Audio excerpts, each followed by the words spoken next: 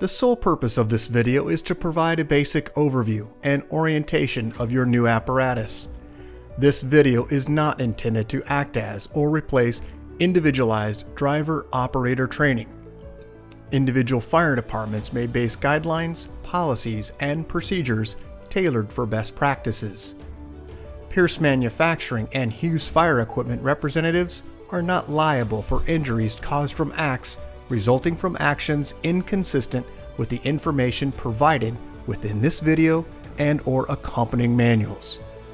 Refer to the Operation and Maintenance Manual for complete details relating to the components and features of this apparatus. Only trained personnel should operate this vehicle or perform maintenance. You are responsible for learning how to operate this fire apparatus under all conditions without having to refer to the manual while operating at an emergency incident. This video will discuss types of warnings and caution labels. It is your responsibility to locate and identify each of the labels and understand the importance and associated hazards. Warning labels will point out procedure that must be taken or action that must be avoided to guard against the possibility of serious injury or death. Caution labels will advise you that there is a risk of damage to property if certain precautions are not followed. Continuous training, reviewing of operation and service manuals, developing good standardized practices will assist driver operators with a more complete understanding of the components and operation of this fire apparatus.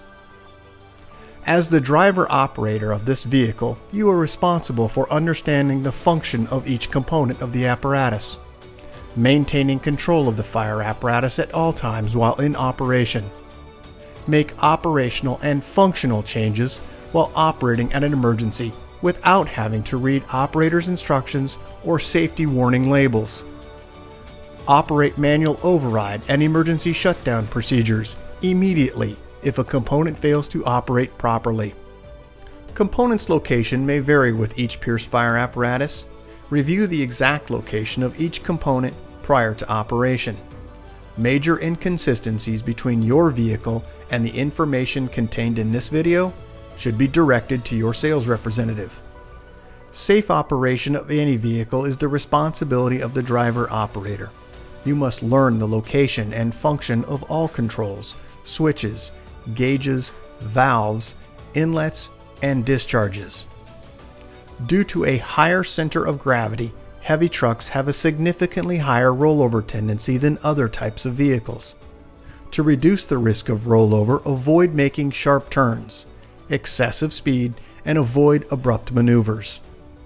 In the event of a rollover crash, an unbelted person is significantly more likely to become injured or die than a person wearing a seatbelt. In the event of a crash, unbuckled occupants can also become a hazard to other occupants, as they may be thrown around inside the cab. Seatbelts are required while in operation. Please refer to your warranty certificates for details and information enclosed in your manuals. Customer installed equipment must be mounted to withstand road travel and comply with NFPA 1901. Modifications such as drilling holes or welding to structural frame components of the chassis are not permitted. Contact Pierce for instruction and review of non-structural sheet metal or other dissimilar metals for modification. Follow the radio installation guide for further assistance on installing or mounting electronics. Before placing your new apparatus into service, perform a primary inspection of key components of the apparatus, including all fluid levels, anti-lock braking systems, electronic stability control, and automatic traction control. Weigh your apparatus to ensure that it conforms to axle and brake ratings. Never exceed the gross axle rating printed on the label inside the cab. Exceeding these ratings could lead to reduced component life, personal injury, or death. Review the use of auxiliary braking systems, compression brake, exhaust brake, electronic retarder, and hydraulic retarder. Before placing the apparatus in service, refer to the operational maintenance manuals. Information on the operation and maintenance functions for the components such as the pump, pressure governor, and foam systems along with other options is provided in either the Pierce manuals and or other manufacturer support information delivered with the apparatus. If you need more information, please contact Hughes Fire Equipment. Congratulations, Tucson, Arizona, on your new Pierce fire apparatus, job number 33922. Please utilize this five digit job number when referencing your apparatus with Hughes Fire Equipment and Pierce Manufacturing. We'll get started on a brief orientation of your new apparatus. Starting just under the front bumper, you'll find two open-ended tow hooks attached to the frame rail. Moving up onto the bumper face, you'll find dual air horns on the passenger and driver side. Located evenly spaced across the front, you'll find three sirens. Moving up onto the bumper extension, you'll find a tubbed storage location for hose storage for your front bumper load. Just to the driver's side, you'll find a swivel inch and a half discharge, Moving up onto the cab face, you'll find on the outer edges a turn marker clearance light. Just inside of that location, you'll find the headlight structure housing the low and high beam headlights. The high beam is located on the inside. Above that, you'll find a cluster housing a turn signal and also an emergency light. And just above that, you'll find a grab handle. There are three windshield wipers across your one-piece seamless windshield. On the outer edges of the cab, you'll find your mirrors housing a convex and a flat mirror. Moving up to the brow of the apparatus, you'll find five clearance lights. Moving further into the center, you'll find a forward-facing floodlight. And as we move up onto the roof of the cab, you'll find your emergency warning light bar. Located within the inside of the light bar in the center, you'll find an opticom. And then just above that, you'll find a Golight spotlight.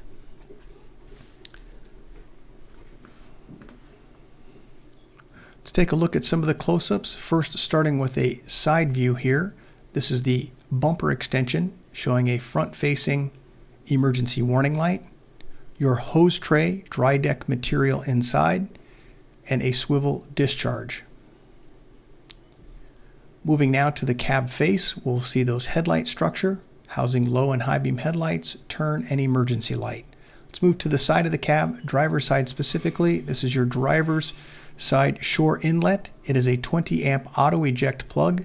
When plugged in, you will have an indicator, and then just above that, you'll also have a battery voltage indicator indicating that your battery is in the charge process. Moving now to the door, you'll find a grab handle with a keyed entry point.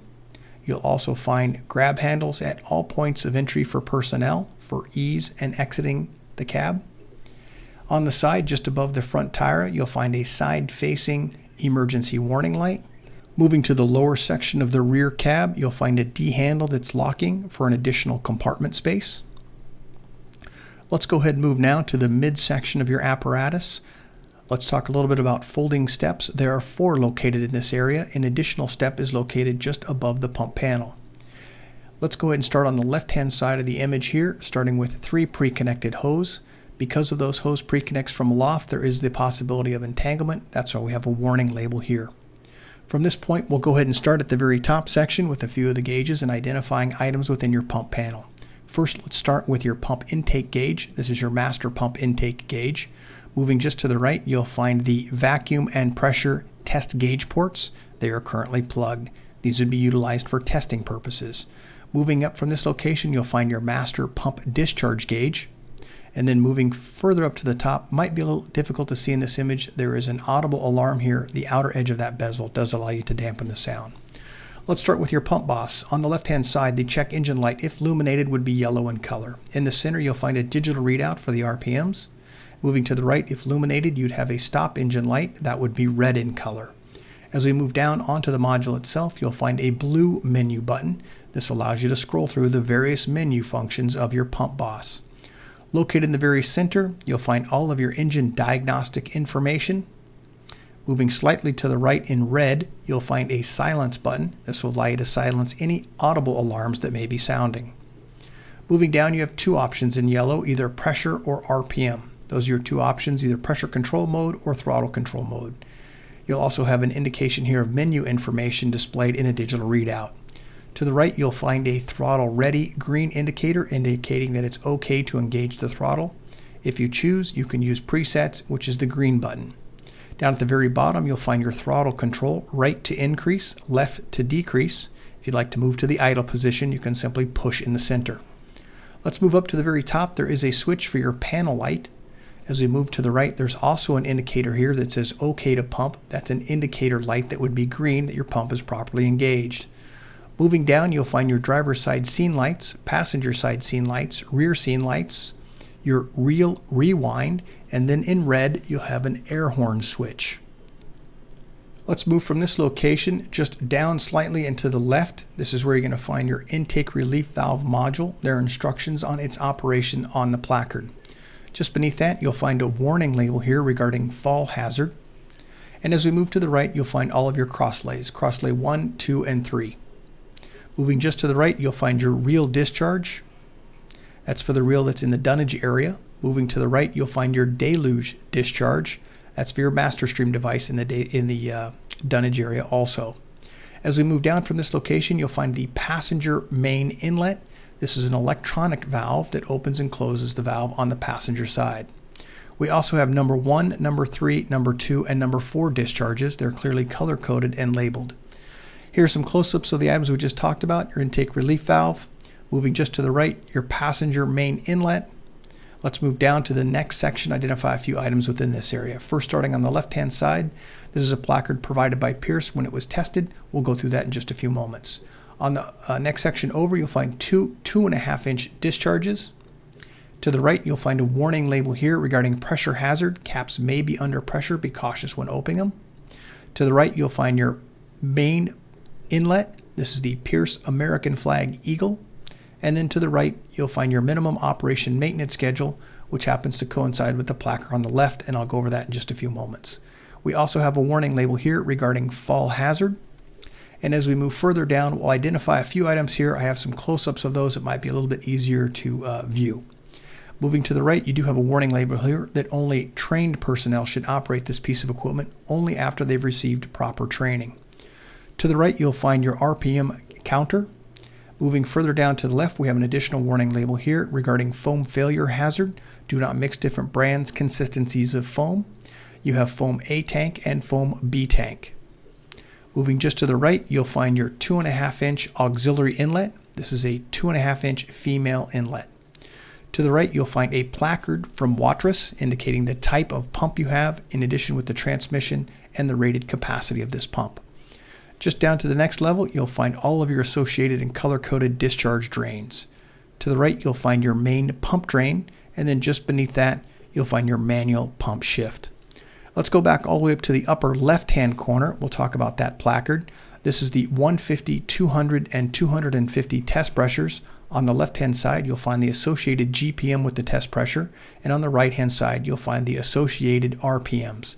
This also houses the information regarding your job number 33922-04. Let's take a look at some close-ups. This is your air supply, air outlet, and also your air inlet. That is a turn, not a pull. Moving to the right, your RPM counter. This would be for testing purposes. And as we move down, your Waterous placard indicating that this is a 1,250 GPM pump. Moving further down, discharge drains, and also your main pump drain and manual pump shift. Let's move all the way to the left side where you'll find your foam A and foam B. These are your inlets. At the very bottom in the running board, you'll find an additional hose storage location. Let's move to the top of the truck now to the dunnage area where you'll find your booster line or red line. On the right hand side where the arrow is indicating, that is a location where you would put a manual tool for rewind. And then further to the right, you'll find a tensioning knob. Moving also downward, you'll find a top location for the reel rewind. This is a button to activate the electronic reel rewind. Further in the distro or in the uh, dunnage area, you'll find your two locations. This is the foam tank fill locations for foam tank A and B. The previous was for your water tank top fill. We also have additional warning labels in this area indicating possible foam failure for mixing different brands or consistencies of foam. Here's a close-up of tank B and also that warning label. And then as we look forward, here is tank A. You can see also the warning label within this area. Let's move now uh, to the water tank location. This would be for top fill for your water tank. And then we'll move now to the rear section. You'll find these yellow diamonds indicating a safe walking area. And as we look to the forward, you'll find the release mechanisms for your ladder when it is down in the operational mode. You have a 24 foot, a 14 foot roof, and a 10 foot folding. There's also two locations here for long tool handles. Let's move now from this location. We'll look toward the front in the dunnage area where you'll find your master stream device. Moving forward to this location, this is toward the front of the cab. You'll find your pre-connected hose cover as we look to the cab itself, you'll find your unit number 20, and then on the left hand side, an indicator that this is a non walking surface. It may be slippery. As we move to the body of the vehicle, we'll start first on the left hand, uh, on the uh, driver's side. This is going to be a clearance light, two emergency lights, one just above the rear tire and one at the very top corner, and then also a side facing scene light. Let's move from this location here. We'll identify some of the items within the compartments, first starting with the first compartment to the rear of the pump panel. When plugged into shore power, this outlet will be activated, which allows you the charging system, which is currently plugged in to maintain your battery system. You'll also find just in front of the rear axle, SCBA bottle storage location with retaining straps, a compartment that does have keyed locks, LED lighting inside. As we move to the rear portion of the axle, just in this compartment, you'll find your ultra low sulfur diesel. It is the silver cap, and also some information here regarding caution that you should turn your vehicle off when filling. Moving downward, you'll also find your blue cap, which is going to be your 4.5 US gallon DEF cap.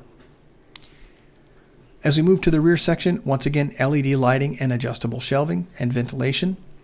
Taking a quick look from the rear section of the apparatus, let's cover some of the items within the rear of the apparatus. First, starting with your tail lights at the very top, an emergency warning light, stop, turn, and reverse light.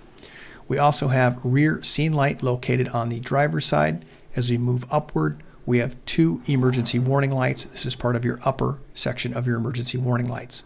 Located in the very center, you'll find your traffic advisor and just underneath the traffic advisor, slightly difficult to see, but this is your backup camera. There are also steps located here that are fold down. There are three located in this, section uh, and also one in the upper portion. We do have some warning labels here also. We'll talk about those in just a moment. Here's some close-ups of the items. This is your rear scene light on and off switch. Moving upward, this is your warning buzzer, one stop, two go, and three back up. Moving to the center section at the very top, you'll find additional storage location here for a folding ladder if necessary. You'll also find in your center compartment two adjustable shelves. Moving to the right, you'll find your passenger rear discharge. This is a two and a half inch discharge. We also have your hose dividers, and at the very top, a grab handle. Let's move now to the passenger side of the vehicle. We'll start with the very first compartment in the rear. You do have a full stretched out shelf at the very bottom, which will fully extend, and also adjustable shelving.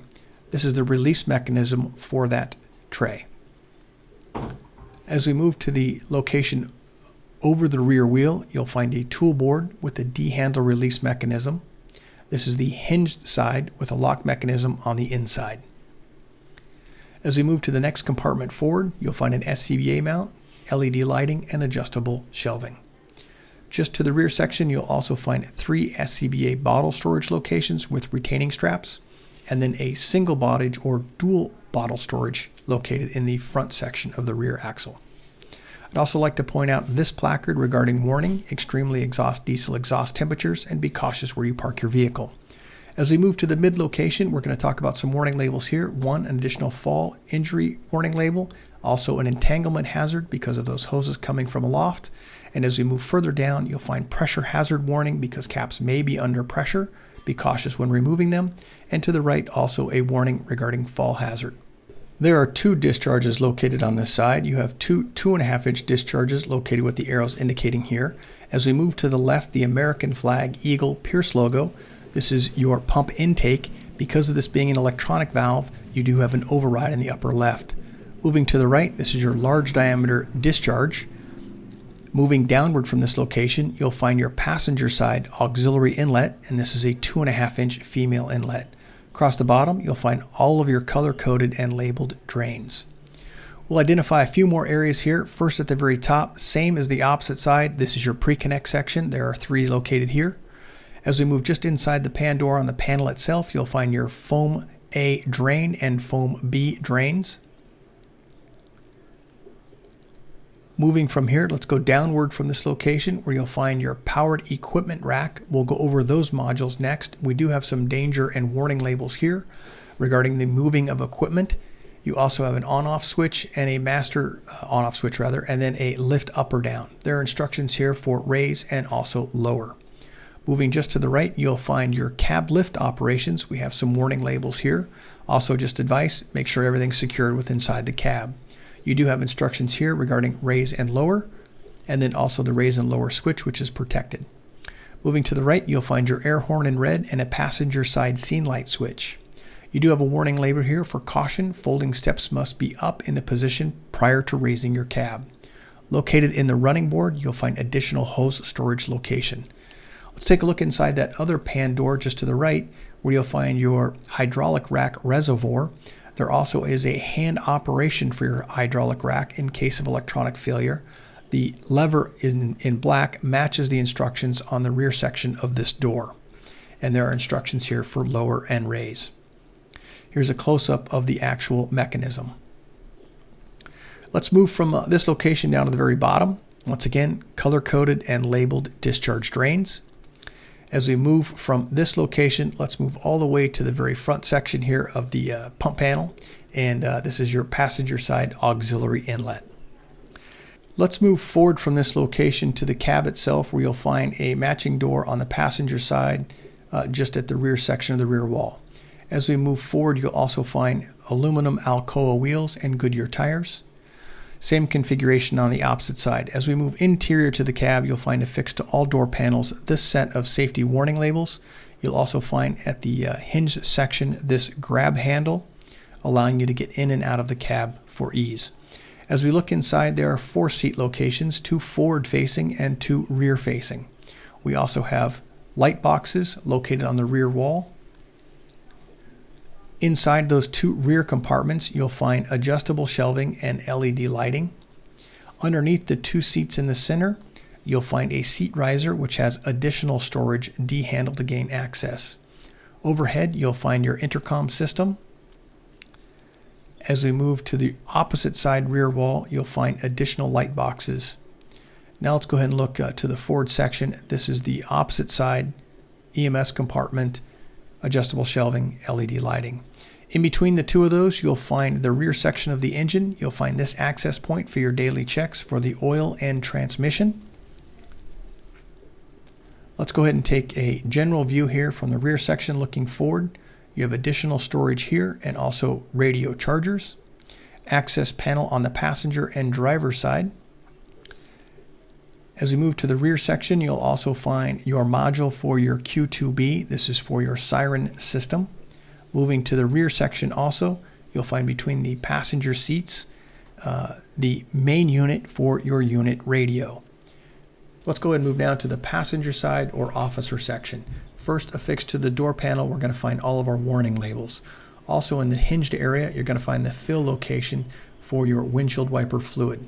Just beneath that, you'll find the additional grab handle in red for getting in and out of the cab. As we move just inside of the cab, you'll find the SRS label indicating supplemental restraint system. This is an airbag. Do not mount anything within this area as you can see the warning information just below. Moving to the top in the center, you'll find your siren brake push button. Just beneath that, you'll find a USB 12 volt access. And then you'll also find two switches here, air horn and mechanical siren. Here's a close-up of those two switches. First, the siren brake, and then also your 12 volt access panel for USB. On the right-hand side of the uh, cab, passenger side, you'll find your light and light control. Overhead of the officer position, you'll find your Golight. This is a spotlight over the light bar. You'll also find your Firecom headset module. Moving to the left of this location, you'll find your unit radio. Moving just to the left of this location, more in the center of the apparatus, you'll find your siren controls and also your PA speaker system. Moving at about the left shoulder, you'll find the charging location or dock for your computer system. And then moving to the right, you'll find your MDT. Let's take a look further to the left where you'll find two charging stations here for your portable radios and then also MapBook storage. Looking to the rear, you'll find your two forward-facing seats and also two EMS compartments. Let's move to the driver's area. Affixed to the door panel, you'll find all of your warning labels and information guides. Moving just inside of that location on the seat, you'll find seatbelt information. Moving down to about the right ankle area, you'll find additional caution and warning labels, and you'll also find this placard manufactured by Pierce for the city of Tucson. You have a date of January of 2020, job number 33922-04, gross vehicle weight rating, cold tire inflation. It has your VIN number, fluid capacities for the component, and also fluid type. Moving to the door panel, you'll find your window controls and door lock. Let's move further down to the floorboard area where you'll find your air horn foot pedal. Let's move now just to the right of this location where you'll find your accelerator, brake treadle, and as we move to the left, you can see the location for your air horn. Let's move up to about the left knee where you'll find your master battery switch. That's going to be the silver switch. I've got a next image here that have a little bit better close up. Let's start first with your master battery switch on the left hand side. There are three locations here for your techs. You have a tech module, engine transmission ABS diagnostic port, and also a display port. Down in the next set, you've got four indicators here or switches, ABS diagnostics, DPF regen, engine diagnostics, and regen inhibit. Let's move just upward from this location. You'll find your pump shift. There are instructions for road to pump and then also instructions from pump to road. Remember when exiting the cab for pump operations, you need the pump engaged and the OK to pump green indicators illuminating. Let's move now to the opposite side where you'll find a set of switch panels, future switches, and also location for your load manager. Moving up, you'll find your mirror control. This happens to be for your flat mirror. As we move to the dash, you'll find your ignition switch, and above that, you'll find your start switch. Moving just slightly to the right, you'll find a switch labeled EM, which stands for Emergency Master, controls all of your emergency lights. To the right, headlights, and also a panel switch allowing you to brighten or dim the panel lights. As we move as a general view here of the driver's space, let's start with the left-hand side, transmission temperature, oil pressure, DEF level, and water temperature. On the right-hand side, you'll find volts, fuel level, front air and rear air, speedometer and tachometer located in the center, diagnostic information displays above and below the speedometer. On the right, you'll find this diamond, pull to apply your system parking brake and push to release. On the right hand side, you'll find information here with your Allison transmission pad for a pump in drive. As we move upward, you'll find on the right hand side your windshield wiper control, push for fluid, and also you'll find your Pierce Command Zone, a tremendous amount of information at your fingertips. Please see your owner's manual for more information. Here's a close-up now of the Allison transmission pad. As we move up, we'll find the engine brake on and off switch. We have a setting switch for low, medium, and high for that engine brake. Electronic siren, siren brake in red. You have perimeter lights and also mirror heat. Let's move just slightly to the right where your air conditioning controls are. Just beneath that, you'll find a caution label here to disengage your retarder when on slippery or wet surfaces. Also warning buzzer information and also an on-off switch for your MDT. Above that, you'll find climate control for heat and defrost and also air conditioning. Let's go ahead and move to the center section of your apparatus where you'll find this red indicator light. If flashing, do not move your truck. You have a compartment or door ajar. We'll move now left over the operator's head to this placard. This is information here regarding your vehicle. Height 10 feet 2.5 inches, length 31 feet 5 inches, gross vehicle weight rating 42,000 pounds. If you make any adjustments to your vehicle, please update this placard. Let's move to the right, identify a few of the rocker switches. First, starting with your emergency lights. On the left, emergency master switch, roof light, front warning lights, side warning lights, lower rear warning, and upper rear warning. When any of these switches have been engaged, the light will illuminate indicating that it is on. Moving to the right hand side, same set of switches. We have rocker switches indicating for your high beam flash, an on off for your Opticom, front flood, driver side scene lights, passenger side scene lights, and rear scene lights. Same thing, if anything is on, the green light will illuminate. Let's move just to the right of this location where you'll find your control module for your Golight. That is the spotlight on top of the light bar. As we move to the center, you'll find your siren control and also traffic advisor. Let's take a look overhead. You'll find your air conditioning unit, push on and off red or white lights, and also your intercom system. As we look to the rear, two forward facing seats and two rear facing seats. Congratulations, Tucson, Arizona, on your new Pierce Fire apparatus, job number 33922 04. Once again, if you have any questions, please contact your Hughes Fire sales representative. Thank you and congratulations.